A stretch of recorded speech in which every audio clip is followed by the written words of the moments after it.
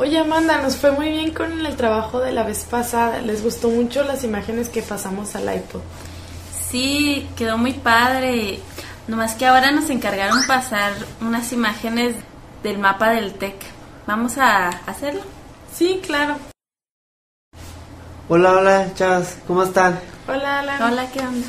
Pues estamos haciendo un trabajo de pasar fotos al iPod, ya que aprendimos cómo. Son unas imágenes del mapa del TEC. ¿Quieres verlas? A ver, pues enséñamelas. Mira aquí en abrir imagen, esta de foto área del ITECH. Ay, aquí tenemos un problema. Mira, las imágenes no son cuadradas, no vamos a poder ajustarla.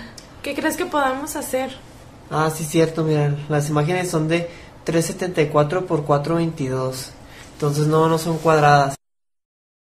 Y pues no, no creo que podamos recortarla más la imagen. Bueno, muy fácil, mira, le damos clic en imagen. Escogemos tamaño de lienzo. Aquí donde dice tamaño de lienzo, vemos que es 407 por 449. Entonces ahí tenemos que romper esta cadenita, ajustar una imagen cuadrada. Entonces tenemos que poner la misma medida tanto en ancho como altura. Así es.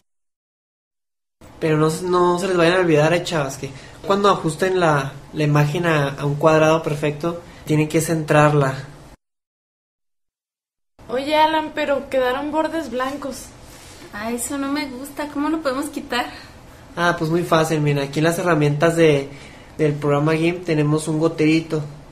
Este lo podemos usar para poder pintar los bordes. Para poder pintar los bordes, seleccionas primero el gotero, seleccionas el color. Yo te recomiendo un color que vaya con toda la fotografía. Y ya, Ay, rellenas los bordes del lienzo. Qué bien quedó Alan, muchas gracias. Tienes razón con lo de rellenar los bordes. Ahora sí quedó la imagen cuadrada, ya la podremos pasar al iPod. Muchas gracias. Gracias Alan. ¿Y ya saben cómo pasar la, la imagen al iPod?